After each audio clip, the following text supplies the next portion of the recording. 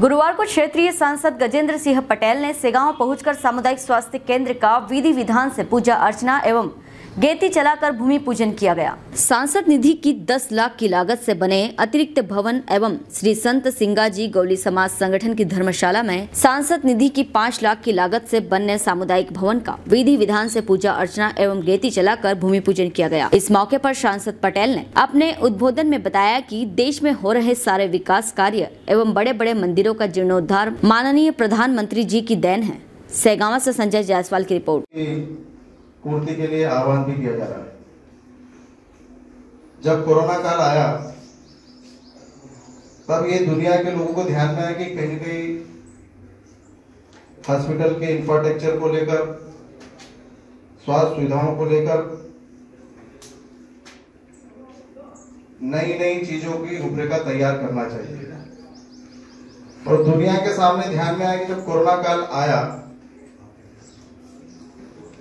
तो लोग सीधे हॉस्पिटल की ओर दौड़ते थे दोनों हाथ जोड़कर समाज के लोगों को प्रणाम करता हूँ, नमस्कार करता हूँ। अब सेगांव तो वो भूमि है जहाँ पर लालबाई, फुलबाई माता जी की पुण्य भूमि है, जहाँ पर ज़िले के सभी भक्तगण यहाँ पर आते हैं।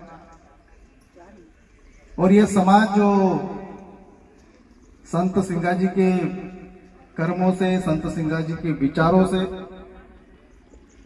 यह गौली समाज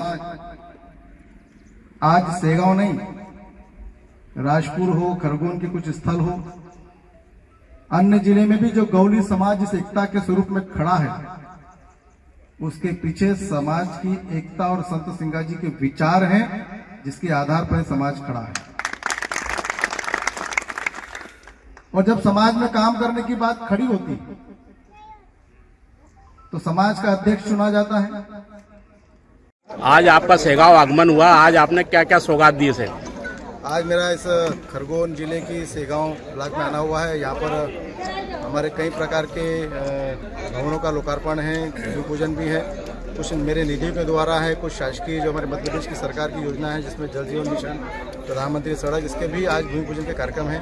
साथ में पार्टी के कार्यकर्ताओं के साथ भी बैठक है और जनपद की भी एक समीक्षा बैठक है ऐसे तमाम प्रकार की योजना बनाकर आज हम पूरा सेगांव ब्लॉक में भ्रमण कर रहे हैं। मेरे साथ पार्टी के सभी वरिष्ठगण भी हैं और इसलिए आज के अवसर पर मैं चाहता हूँ कि क्षेत्र की जनता को जो सुविधाएँ मिल रही है, वो सुविधाएँ ज़्यादा ज़्यादा मिले। इसको लेकर अधिकारी, कर्मचारी, कार्यकर्ताओं से हम लोग संवाद कर रहे हैं, जनता से संवाद कर रहे हैं, जिसका लाभ हमारे क्षेत्र की जनता को मिले हेलो फ्रेंड्स आप देख रहे हैं हमारा channel S W twenty four news हमारे सारे वीडियो सबसे पहले देखने के लिए आप हमारे चैनल को सब्सक्राइब करें और पास में लगे बेल आइकन को दबाना बिल्कुल भी ना भूलें।